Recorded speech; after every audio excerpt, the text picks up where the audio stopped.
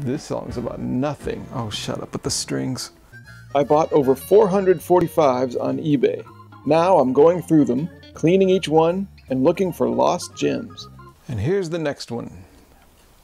Why Do You Keep Me Waiting and Make It With You by Bread. Make It With You is the A side. Okay, as far as I know, this is from the early 70s. Um, I don't know anything about Bread. I don't know anything about Bread except they had a song called Baby I'ma Want You. I don't know what it sounds like, I just know the title. I think Bread is just like, just schlocky, soft rock, the kind that I do not like. I do not have any hopes for this. Maybe they will surprise me. Maybe the A side is horrible and maybe the B side is some awesome thing, but I don't know.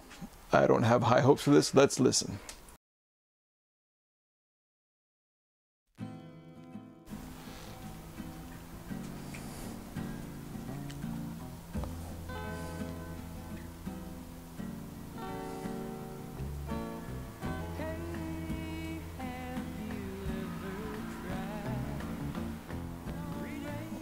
Mm.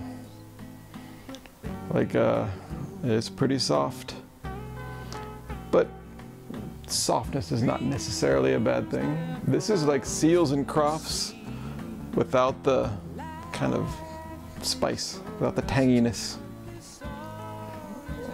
Very competent.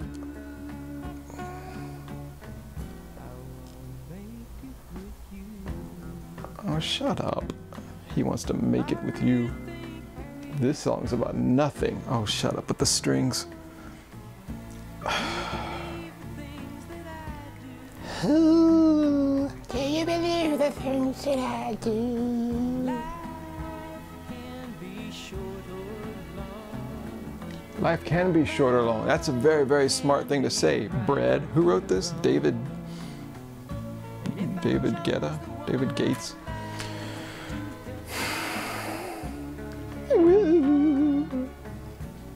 I would like to make it with you. Well, there's no surprises here. It's competent. That's about as that's about the most I can say about it. It's about what I thought. When I thought of uh, plain white bread, this is about what I thought. I was right. Okay, you've made your point. You can end now. I want this song to end now. I really, really, really do. I bet there's a fade out. I give him a fade out. A song like that should be faded out. Preferably about two minutes ago.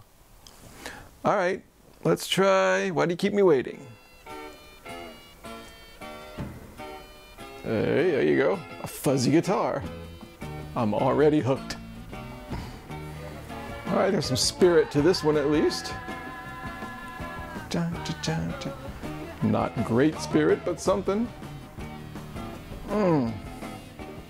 Oh, this is the kind of thing that's got a lot of good parts, but it's not something you would choose to listen to. If I wanted to hear fuzz guitar, there's a million other things I'd play first. I don't know, I wouldn't turn it off though if it came on, you know. If I was sitting in a Waffle House and this came on, I would go, awesome. But if I was sitting at my computer looking through my iTunes going, what do I want to play? I wouldn't go, ooh, what's it called? Why Do You Keep Me Waiting by Bread. It's unusual in a B-side kind of way. It's all right. Oh, this is this has got potential. This is usable for something. That fuzz guitar really, really uh, spices it up. Really pulls it along. All right, Bread. You've totally failed on the A side, but fair enough. The B side shows you got something. A side, no. B side, yes. The B side was written by James Griffin, who also wrote the song uh, by the Roosters. Co-wrote both of both sides of that that 45 by the Roosters that I did earlier. So maybe James Griffin is the brains behind bread. I don't know anything about bread. I have no idea how many people are even in bread. I think four. Baby, I'm gonna want half of this thing. Make It With You came out in 1970. It was from the album On the Waters. Make It With You was a number one hit in America. Doesn't mean I have to like it. Um, Why Do You Keep Me Waiting was actually the first song on that album, which is kind of a cool way to lead off an album, I guess. Make It With You was number two and immediately uh, derailed the album, and who cares? There were four people in Bread. I do not care.